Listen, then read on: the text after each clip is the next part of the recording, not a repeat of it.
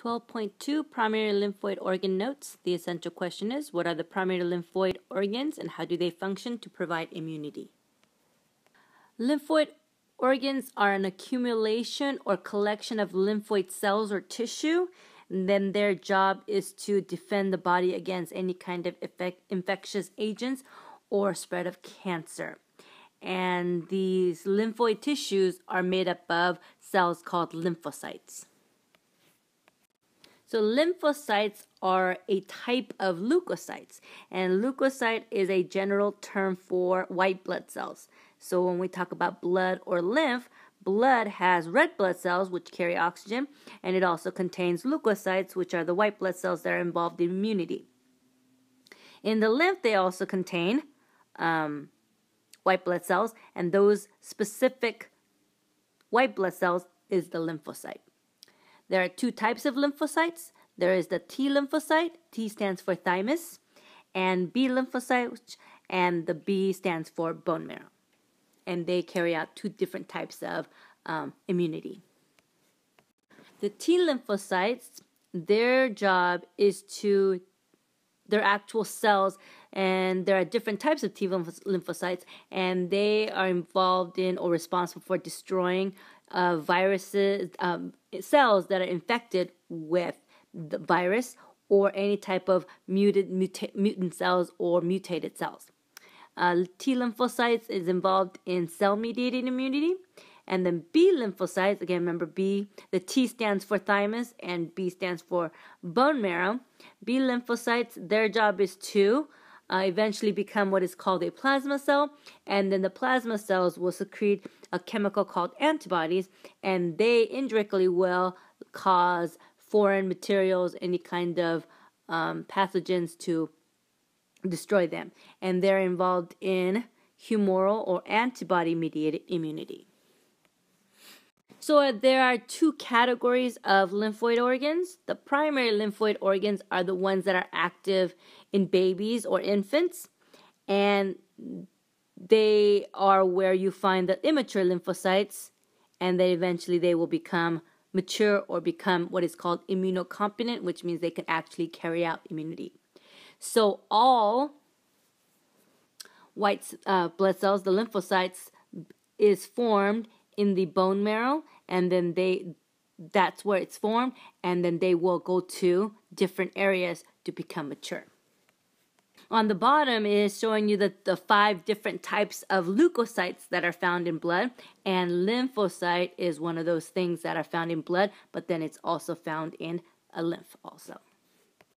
So bone marrow is one of the primary lymphoid organs. It is where the immature lymphocytes are formed, including the B and the T lymphocytes.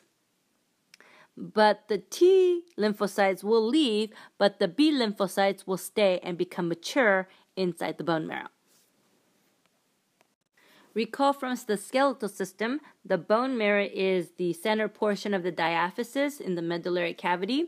And not only are they involved in producing lymphocytes, but they uh, make all of the other leukocytes, the white blood cells.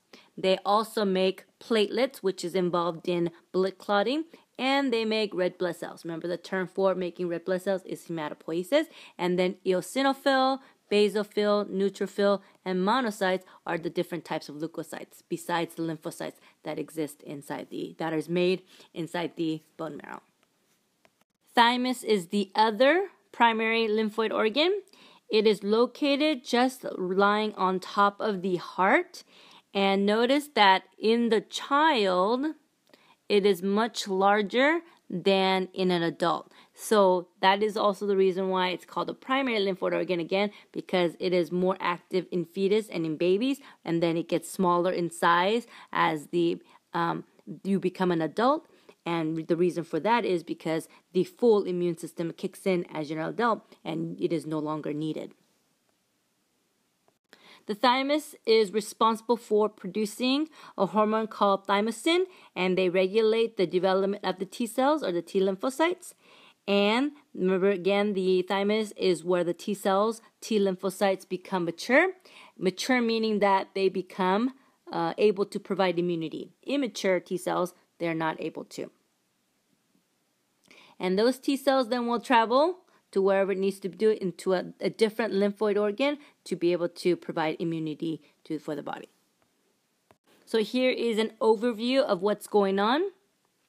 So in the bone marrow, you got all kinds of cells being made, the red blood cells, which is responsible for carrying oxygen. Then you have platelets, which is involved in blood clotting. And then you have monocytes and granulocytes, which are different types of white blood cells. And then including all of the other those white blood cells, the lymphocytes are being made. And remember that the B cells or the B lymphocytes will remain in the bone marrow and then will become mature. And then they will provide the antibody mediated immunity. The antibody is made by B cells, and then the thymus, the T lymphocytes, will travel to the thymus and then they will become mature. The T cells will become mature and they are involved in the cell mediated immune response. And note that the B cells and T cells are formed in early childhood, in uh, fetus or in babies. And then by the time they're childhood, the B cells and the T cells become mature.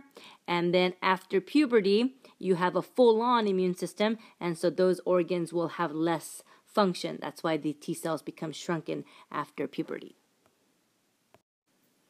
12.2 notes homework. Number one, what is the function of the bone marrow? Number two, how are T cells and B cells similar and different in structure and function? Number three, what is the function and the location of the thymus?